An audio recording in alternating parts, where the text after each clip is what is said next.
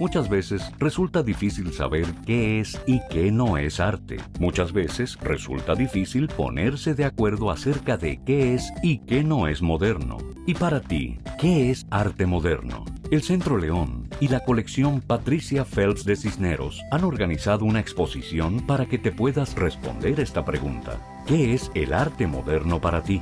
Una exposición sin precedentes estará abierta en el Centro León hasta el 15 de mayo de 2011. Centro León, una creación de la Fundación Eduardo León Jiménez.